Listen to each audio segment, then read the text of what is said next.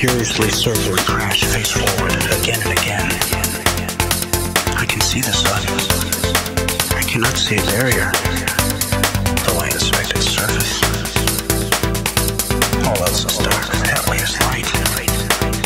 The faintest leak of air tells me that way is home. So I flail and beat against that which I cannot see.